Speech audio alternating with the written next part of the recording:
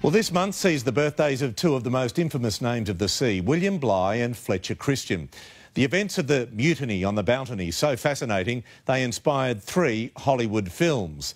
And today, descendants of the two men met in Sydney. Their surnames are tattooed into maritime law Bligh and Christian.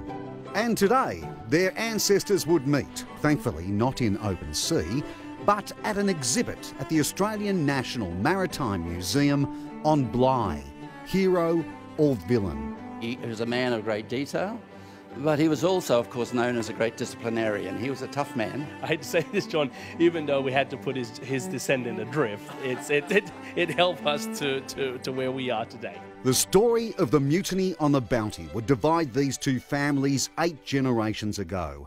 One side forced into a longboat and a miraculous 6,000 kilometre trip across open ocean to salvation.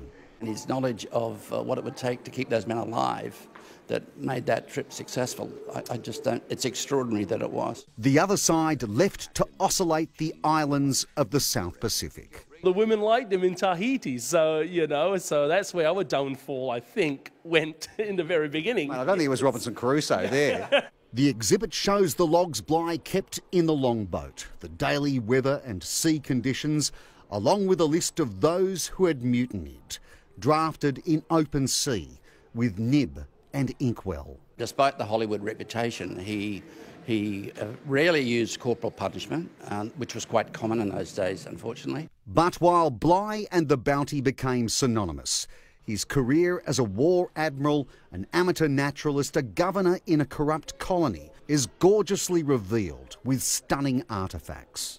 And on the question of hero or villain, where visitors can cast their vote, the descendant of Bligh's famous protagonist surprises with his ballot. Yeah, I reckon he was a hero, to be really honest. I reckon he was a hero, John. Yeah. yeah. Thank you. there you go. We have peace in our time. Mike Dalton, 9 News.